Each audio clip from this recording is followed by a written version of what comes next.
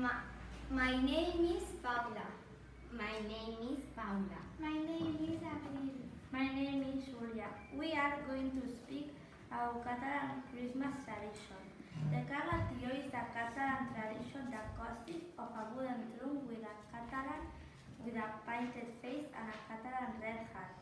The Tio comes from the forest in early December. He knocks on the door and children have to feed him until Christmas Day. The Christmas day, the children get into a room and sing a song. Then they leave the room and beat the tio with a stick and sing a song.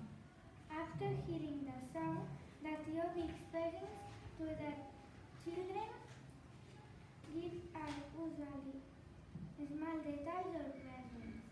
The three kings. The three kings' names are Melchor, Gaspar, and Balthasar. They come on 5th January at night, and they have presents for a lot of people in Catalonia. They come from the east with camels. But be careful, you have to be a good boy or a good girl if you want to receive their presents. Christmas is the time when children receive the most presents. Tio, Santa Claus, and the three kings bring the presents. Presents can be clothes, shoes, or anything. Toys are what makes children mo- most excited. If the children behave well, they receive money. Presents.